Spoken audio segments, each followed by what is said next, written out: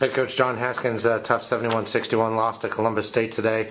Uh, first of two games this weekend for you. Uh, of two halves really for you today. Everything that went right for you in the first half sort of went the other way for you in the second. Yeah, I thought uh, I told our team I thought we were very aggressive and attacked any kind of pressure and, and attacked the basket in the first half. I thought the second half uh, we got in a very reactive mode. I thought we stood around a lot. I thought we were confused and just standing around trying to figure out what we were trying to do.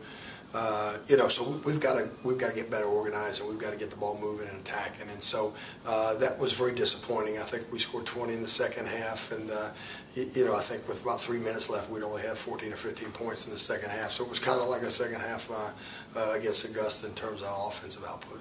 Yeah, Columbus State keys their victory today. 11 for 31 from three-point line. Near nearly half their points come from the perimeter. Uh, it seems like they couldn't really miss in the first half, and they sort of toned it down in the second half and made some keys.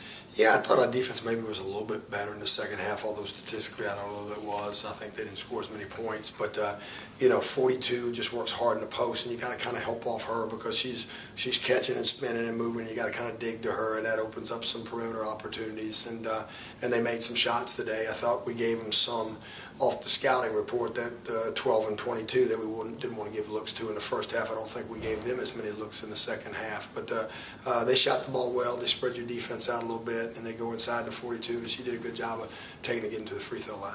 Let's talk about some individual performances. Kier Haney, 19 points, uh, a majority of those in the first half. She looked really good shooting the ball today. Yeah, we, we attacked and got some dump downs to her, and we got some stuff off our sets with some cuts and, and got her the ball around the basket. And then she did make a couple face up Jays.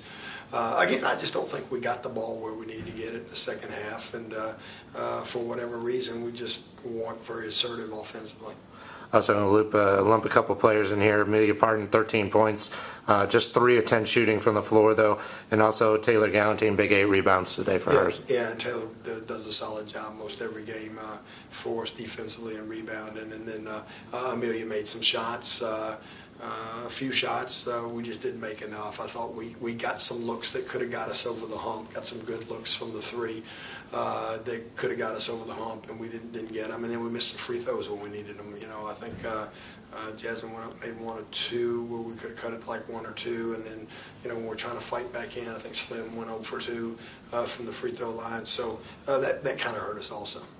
The usually luxury after a loss, you get a few days to regroup and, and collect your thoughts. But uh, back on the court tomorrow against Georgia Southwestern, what what do you expect to see from the Lady Hurricanes tomorrow? They get after you defensively. They're very athletic. They'll push the floor uh, ball up the floor in transition, uh, attack the basket. They can shoot the three. You know, I saw the film where they scored 97 last Saturday against. Uh, Young Harris, so it, do, it doesn't get any easier. They got some girls that can shoot the ball. They got some girls that can put it on the deck. They got some pretty good inside players uh, and they're really going to try to uh, pressure you defensively. So you know, we just we just you know we don't have time to work on it, but we just got to be better tomorrow.